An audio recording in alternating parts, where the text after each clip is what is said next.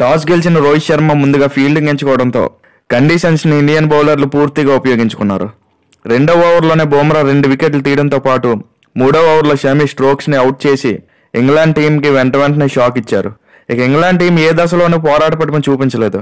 మన ఇండియన్ బౌలర్ల దెబ్బకు అసలు బ్యాటింగ్ ఎలా చేయాలో కూడా అర్థం కాలేదు. బోమ్రా అయితే ఏకంగా ఇంగ్లాండ్ బ్యాట్స్మెన్లను వణికించాడు.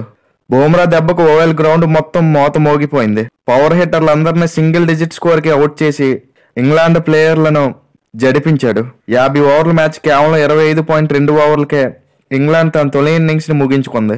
ఏడు ఓవర్లు బౌలింగ్ చేసిన బుమ్రా ఆరు వికెట్లు తీసి పంతొమ్మిది రన్స్ మాత్రమే ఇచ్చి మూడు మేడిన్ ఓవర్లు వేశాడు.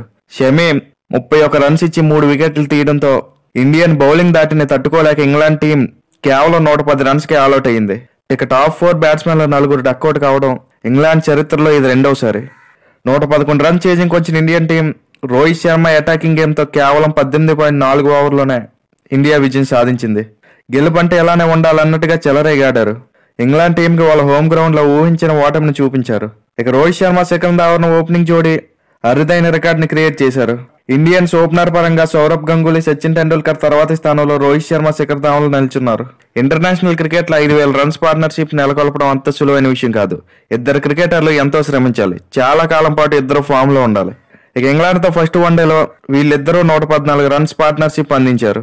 ఓవరాల్గా ఓపెనర్లుగా ఐదు వేల పరుగులు పూర్తి చేసుకున్న నాలుగో జోడీగా రోహిత్ శర్మ శిఖర్ ధావన్లు రికార్డు క్రియేట్ చేశారు. ఇక వన్డే క్రికెట్లో ఇంగ్లాండ్కు భారత్పై ఇదే అత్యల్ప స్కోర్. దాంతోపాటు ఇంగ్లాండ్పై ఇండియా పది వికెట్ల తేడాతో గెలవడం ఇదే తొలిసారి. మిగిలిన బాల్స్ పరంగా ఇండియాకి ఇది మూడో అతిపెద్ద విజయం. ఇక రోహిత్ శర్మ కెప్టెన్సీలో ఇండియన్ టీం అద్భుతాలు చేస్తుంది. బలమైన బ్యాటింగ్ లైనప్ ఉన్న టీంలను సైతం గొప్ప కూలుస్తున్నారు ఇంగ్లాండ్ కూడా అదే పరిస్థితి పట్టింది. ఇండియాతో సిరీస్ మొదలు కాకముందు England team world number one team భారీ పవర్ హిట్టర్లతో మ్యాచ్ను సునాయాసంగా గెలిపించగలిగే ప్లేయర్లు బ్యాటింగ్ లైనప్ ఉన్న టీం. కానీ ఇప్పుడు ఇండియా ముందు దారుణంగా ఓడిపోతున్నారు. ఒక వీక్ టీం ను ఓడిస్తున్నంత సులువుగా ఇండియన్ టీం రోహిత్ శర్మ కెప్టెన్సీలో ఇంగ్లాండ్ చిత్తి చిత్తుగా ఓడిస్తున్నారు. రోహిత్ శర్మ తన అద్భుతమైన కెప్టెన్సీ లక్షణాలన్నీ చూపిస్తున్నాడు.